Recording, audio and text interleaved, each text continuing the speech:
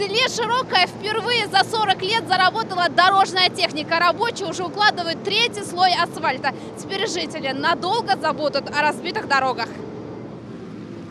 С самого утра за пультом управления асфальтоукладчика машинист Дмитрий Проселков. Его главная задача – правильно управлять техникой, ведь именно от его работы зависит качество дороги. Очень сложная работа, но мы ее стараемся выполнять отлично. Потому что когда сделаешь хорошую дорогу, самому приятно ней- по ней ездить. Дорожники перешли к финальному этапу работ на участке от московской трассы до села Широкое, а это 3 километра.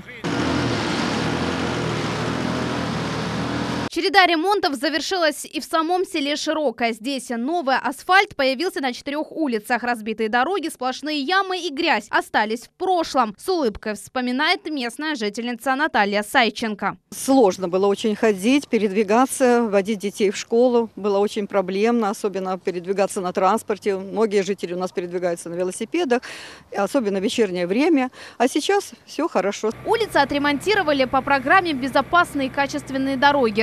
Работы ведутся по графику. Объект полностью планируют сдать в эксплуатацию 30 ноября.